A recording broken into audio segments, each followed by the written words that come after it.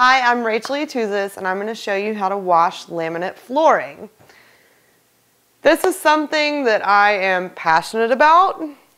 I have friends who own a hardwood flooring company and they swear by this. So get a pen and paper and write this down.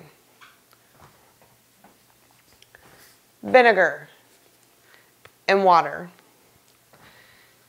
If you have a house or you live somewhere you need to have vinegar and water on hand at all times. It cleans everything. It cleans your floors, your countertops, your bathtubs, your windows. Have a spray bottle of, you know, I would say about a fourth, fifth or fourth way full of vinegar and the rest water. Use this for all of your cleaning needs. It's so inexpensive.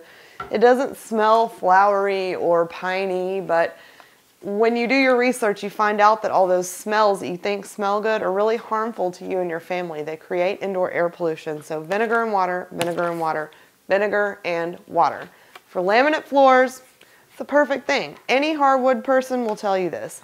Well, first, let me show you, obviously. You need to sweep. Get any debris swept up. Some people vacuum. I say if your problem is pet hair, vacuum. If you don't have pets in the house, sweep. Or you can alternate. It's really up to you. Let me sweep this little tiny bit of debris out of the way just for demonstration purposes.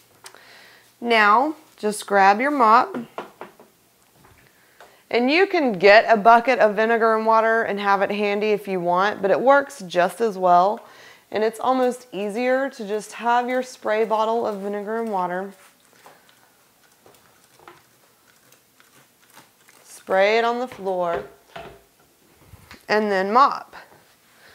The great thing about vinegar is it evaporates and dries really quickly so you don't have to worry about your kids slipping and falling or your husband unless you want him to. In that case, don't use vinegar. Just kidding. And it's that simple. Vinegar is also a disinfectant, so this is a really healthy and wonderful and cheap and easy way to clean your house. I'm Rachel Yatuzis, and that is how you wash laminate flooring.